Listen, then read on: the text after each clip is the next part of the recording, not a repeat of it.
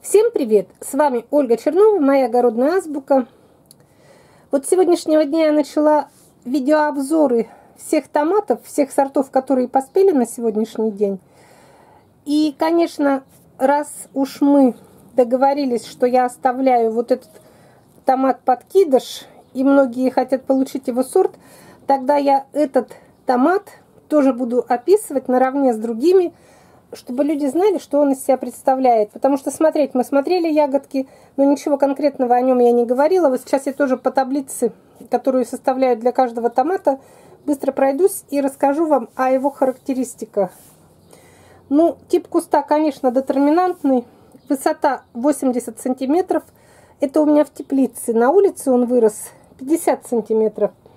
Цвет красный, форма круглая, вкус сладкий. Подробнее расскажу на дегустации, но я его уже кушала. И, и вкус прям сладкий.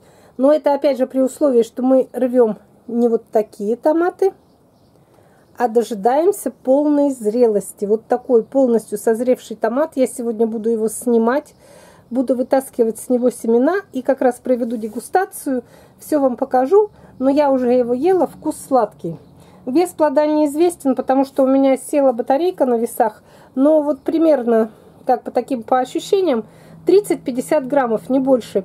Причем плоды все, почти все равномерные, вы видите, на кистях они одинакового размера шарики, что вот были первые кисти, что вот вторые, и вот здесь повыше, они все почти одного и того же размера. Он не мельчает, и можно сказать, как однородные такие они. Ну вот что, какие достоинства я в этом, у этого сорта увидела?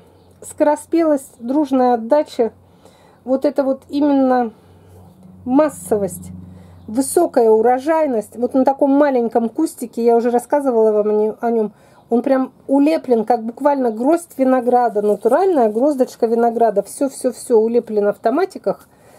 Ну и еще неприхотливость. Ничего с ними я не делала, я просто подвязала его к колышку и все и он зреет, никуда он больше не растет. Единственное, конечно, он маленький, он выше уже не будет. Сейчас, наверное, он за раз сразу раз отдаст весь урожай, весь урожай и все.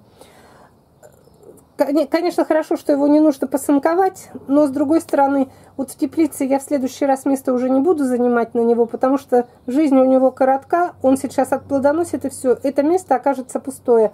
Вот в другой теплице я на его место уже посадила другой томат, подсадила, который был, ну, были оставлены на крайний случай, вдруг там нужно будет заменить, что-то сломаю или что потому что место жалко в теплице, что я заняла. Но он, кстати, также в этот же срок поспел и в открытом грунте. И вот его одно из достоинств еще, конечно, вот эта раннеспелость, скороспелость. Скороспелость его поражает. Он поспел очень быстро и поспел одновременно почти весь. Вот весь урожай какой был, он сразу же отдал.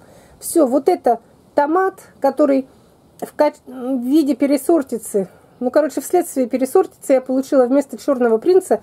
Теперь он будет фигурировать под условным названием подкидыш.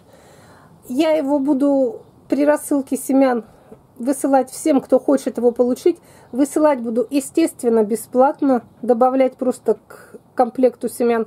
Потому что сорт неизвестно что. И он, я на него не рассчитывала, я не собиралась его вообще размножать или распространять. Но раз люди хотят получить такой вот неприхотливый, скороспелый, такой маленький, аккуратненький, красивенький, вкусненький томат, то, пожалуйста, отдам все, что соберу. Но тут уж не обижайтесь, кому хватит, тому хватит, кому не хватит, извините, он у меня не, как, не запланировано все это. Все, до свидания. Вот это краткий видеообзор нового сорта с, услов... с условным названием подкидыш. Вот такой он наш подкидыш красивый, яркий, прям как крупная черешня. Все.